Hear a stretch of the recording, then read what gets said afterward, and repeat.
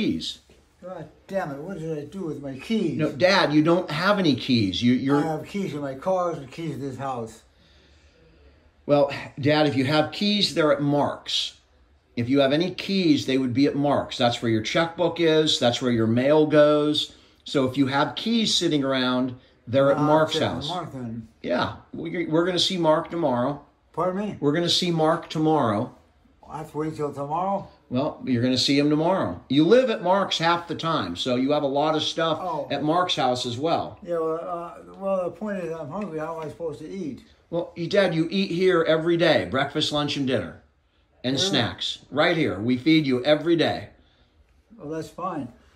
That's fine. Am I going? I guess I'm becoming You live here. demented. You're not demented. You live here. You have memory loss. You're 91. You have total normal memory.